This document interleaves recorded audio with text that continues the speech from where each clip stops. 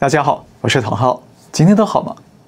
您一定听说过“指鹿为马”这个成语，但您听过“指鼠为鸭”吗？那中共军舰在台湾海峡试图冲撞美军军舰，但反而暴露出中共不敢出兵台湾吗？那习近平的内忧外患又有多么的压力山大呢？来看今天的中共不要看。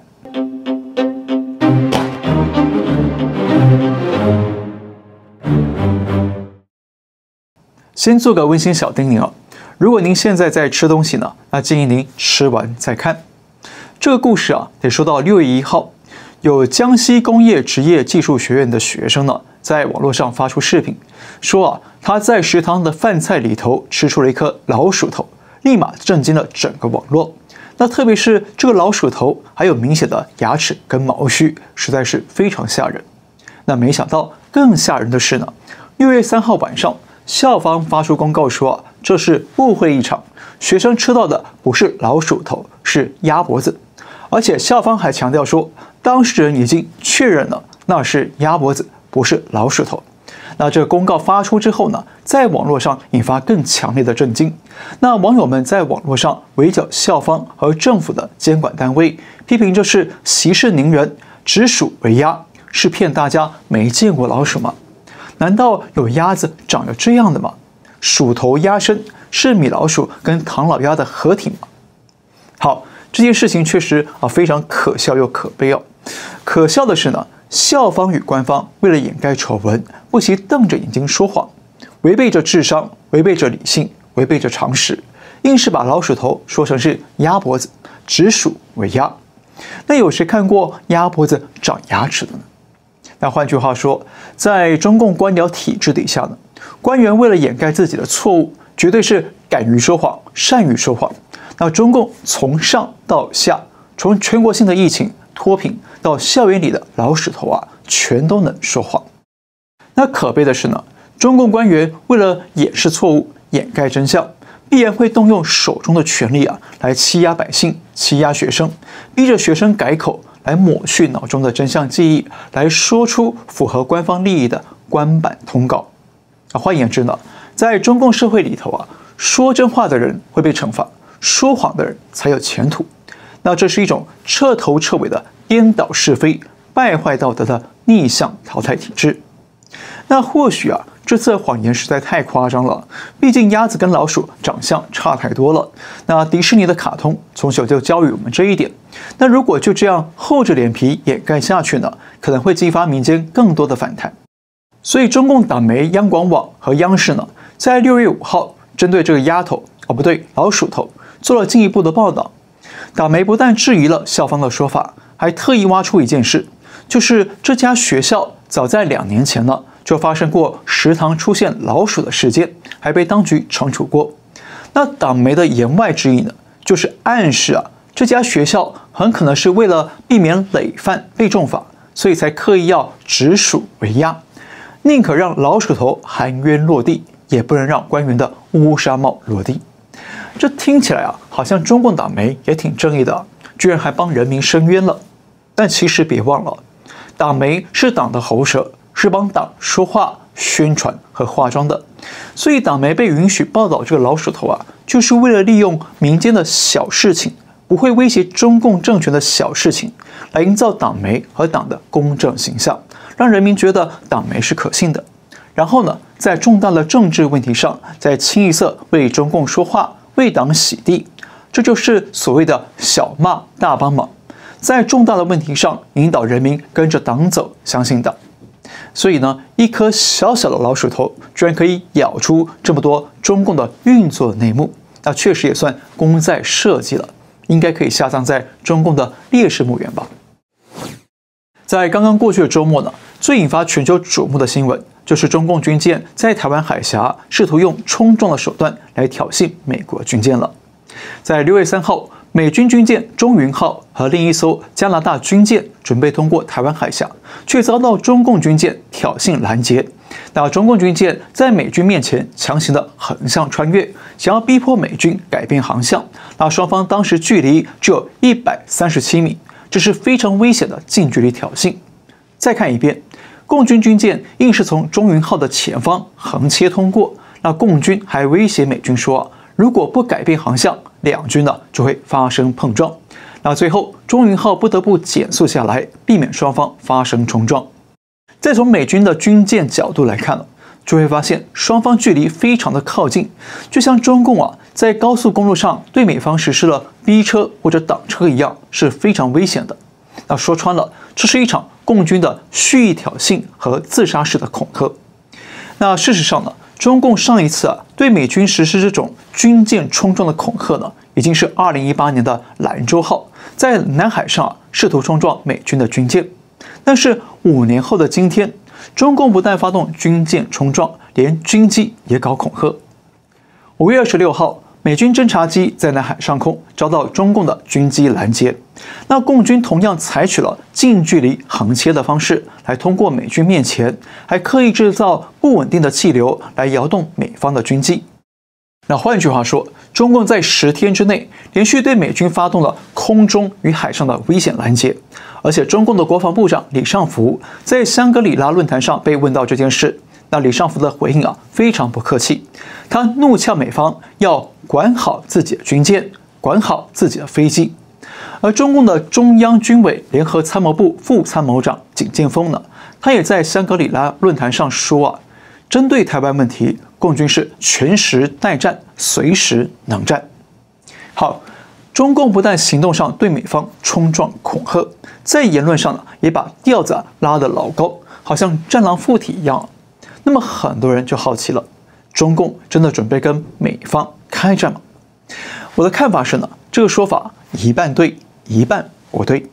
对的一半呢，是中共确实考虑制造一场军事冲突；那不对的是呢，中共不想啊，这个军事冲突规模太大，最好的是可控的小型军事摩擦，不要失控变成战争。为什么呢？因为啊，这些高风险的挑衅动作呢，其实让我们看见了。北京当局的困境与焦虑，严格的说呢，我认为中共啊这次的军舰挑衅啊有两个特性。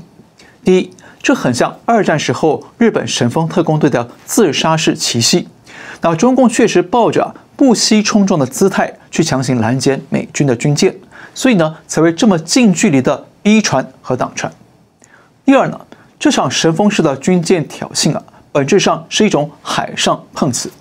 那中共很可能希望哪天真的来个擦枪走火，那一旦双方撞上了，到时候呢，中共就可以自称是受害者，来进行各种政治操作，来获取他们需要的利益。那为什么这么说呢？因为北京啊，目前陷入了内忧外患、内外交逼的严重困局。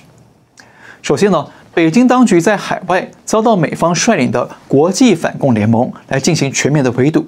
那不但在地缘政治上陷入了新冷战的围困局面，那中共还被美方全面切断了高端技术与高端芯片的供应链，而且美中双边的贸易战还没有收停，那这让北京啊实在没有什么好的对策来抢救经济了，同时呢也拖累了中共对台出兵的备战能力。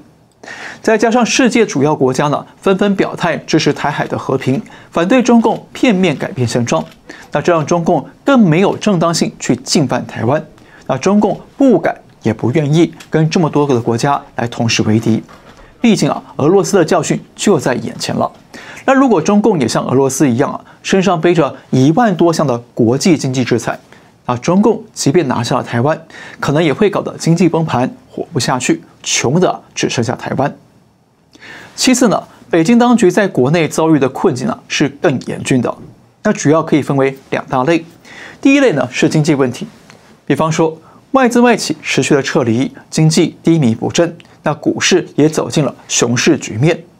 还有失业问题严重，青年失业率超过了百分之二十，疫情过后新增了五千多万的失业青年。还有中共地方政府债务巨大。超过了一百六十二兆人民币等等啊，那这些啊都是中共挠破头也没办法解决的经济难题。那北京的第二类困境呢是政治问题。习近平虽然现在啊看起来大权在握，中央政治局都是他说了算，但是呢他的权威显然是不安稳的，很可能啊遇到了内部的许多挑战。为什么呢？可以从最近的几件事看出来哦。一个是习近平啊，最近下令全国都要学习他的习近平思想，要入脑、入心、入魂，而且呢，还不断的要全党必须统一思想、统一意志、统一行动。这说明什么呢？说明中共内部啊，就是思想不统一，意志不统一，甚至呢，有人在行动上不断的跟党中央作对，让党中央感到威胁了，所以北京才要不断的推动这些思想改造和宣传工作，搞个全民大洗脑，来给自己壮底气。那另一个呢，是习近平今年不断的对党内强调要忠诚，特别是对军方强调要筑牢忠诚，而且是呢要绝对的忠诚，否则啊。只要谁忠诚不绝对，就会被北京认定是绝对不忠诚。这意味着习近平在军方内部遇到了很大反弹。所以，虽然台面上的主将都换成了他的人马，但是军方将领还是有不少人对他反对。因此呢，他最近抓了前空军上将刘亚洲，想来个杀鸡儆猴。但这刚好反向表明了习在军方里头的权威和地位啊还是很不稳。那这也刚好说明了。为什么中共最近啊准许网络上流传所谓的四线作战论，来降温中国内部的武统台湾的声浪？表面上是说呢，如果中共出兵台湾，就会遭到四面八方的战线围剿，反而不利大局。但根本的原因呢，其实是习近平对军方没办法有效的控制，担心一旦开战了，那军方某些派系的势力会不受控制，会搞出军事政变。或者呢，联手境外势力一起来推倒习。还有一件事，就是中共最近大力的推动反间谍运动，抓了几个跟外国企业往来的华人。而且呢，习近平最近主持了中共的国安委会议，他直白的说，国家安全问题的复杂程度、艰巨程度明显加大，要准备经受风高浪急，甚至惊涛骇浪的重大考验。这表明了。习近平有非常大的不信任危机，他可能怀疑啊，党内有人要联合所谓的境外势力来推翻他。所以说，中共在国内遭遇的经济问题和政治问题呢，都是更严峻、更复杂的困境。这些困境对北京来说呢，没有一个是容易摆平的事。而当中共遭遇到内部政权危机的时候呢，最廉价也最快速的缓解手法呢？就是制造一场外部危机来转移焦点，把内部矛盾转移到外部矛盾上去。因此呢，我们刚刚讲过，这次中共军舰对美方的冲撞挑衅呢，本质上是一场海上碰瓷。如果真的撞上了，那中共就可以顺势声称自己是受害者，为了保护领海被美方攻击了，这样呢就可以大力的煽动国内的民族情绪，把国内。党内和军方内部的怨气和敌意呢，全部强行转移到美国的身上，让美国来充当北京的替罪羊和受气包。那这是北京一种啊金蝉脱壳的维稳伎俩。而且呢，习近平这两年对台湾的态度，从一开始的积极武统备战，今年突然来个刹车大转弯，改成了两岸一家亲的合统，还抛出了四线作战论来降温武统。那这一点呢，当然会让军方的鹰派相当的不满，会对习啊觉得不谅解与不信任。毕竟我们已经都炉子烧红了，蓄势待发了，你在这时候回头泼我们冷水，放软了，是什么意思？所以不排除习近平这次啊是故意要求军方要采取危险行动来挑衅美方，这样呢，一方面可以对美方展现中共的战狼姿态，来测试美方会怎么回应。会不会让步？那另一方面呢，也可以对国内的鹰派势力来交心，做出一副我还是鹰派，我随时准备开战的这种姿态啊，来笼络鹰派的势力，让他们别因为党中央现在暂缓武统了而不满或者是辩解。因此呢，总的来看呢，我认为最近中共对美方的军事挑衅以及战狼言论呢，不但曝光了北京当局的内外交逼困境。同时，也曝光了中共啊，现在无心也无力出兵台海，所以才要用这么激进的言行来掩盖底气的发虚。那为什么中共不愿出兵台湾呢？第一，国际社会积极的声援台湾，那中共无力与各国同时为敌。第二，国际社会呢对中共实施了技术封锁，耽误了中共的军工备战。第三，中共目前的军事力量无法取胜。第四，习近平目前呢无法有效的控制军方，那出兵可能会赔上政权。但是呢，我们不能排除中共可能会在南海跟美方发生小型的可控的军事摩擦，因为中共需要啊一场外部的矛盾来转移内部的矛盾，需要一场外部的军事危机来缓解内部的政权危机。好，今天就到这里，感谢您收看，我们下次再会。